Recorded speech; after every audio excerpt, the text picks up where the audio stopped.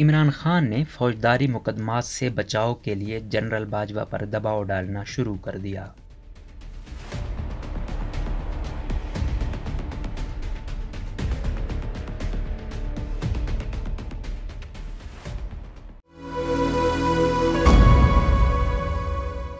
Senior तजियाकार Najam Sethi ने बड़ी खबर देते हुए कहा है कि सबक वज़ीर अजम इमरान खान ने army chief general Qamar Javed Bajwa पर दबाव डालना शुरू कर दिया है कि वो इन्हें फौजदारी मुकदमा से बचाएँ। समाजी राबतों की वेबसाइट ट्विटर पर जारी अपनी खबर में नजम सेठी ने लिखा कि उनकी चिड़िया ने कन्फर्म किया है कि इक्कीस मार्च को सबक वज़ीर अजम इमरान खान ने जनरल बाजवा से इल्तजा की थी कि अगर पी डी एम अदम अतमाद की तहरीक वापस लेती है तो इसके बदले कौमी असम्बली की तहलील और नए इलेक्शन के लिए तैयार है। नजम सेठी का कहना था कि ताहम जब पी डी एम ने उनकी बात मानने से साफ़ इनकार किया तो इमरान खान ने एनआरओ के लिए ज़ाती तौर पर सबक सदर आसिफ अली जरदारी को पैगाम भेजा, लेकिन जरदारी साहब ने भी साफ़ इनकार कर दिया। अब इमरान खान जनरल बाजवा पर फौजदारी मुकदमा से बचाने के लिए दबाव डाल रहे हैं। दूसरी जानब, सहाफ़ी तलत हुसैन ने भी इसी किस्म की खबर देते हुए कहा है कि अभी अभी खबर मिली है कि इमरान खान ने अपने दोस्त मलिक रियाज को तहरीक दम अतमाद पर वोटिंग से कबल आसिफ जरदारी के पास भेजा और वोटिंग का हिस्सा न बनने की दरख्वास्त की, लेकिन उन्होंने साफ़ इनकार कर दिया था।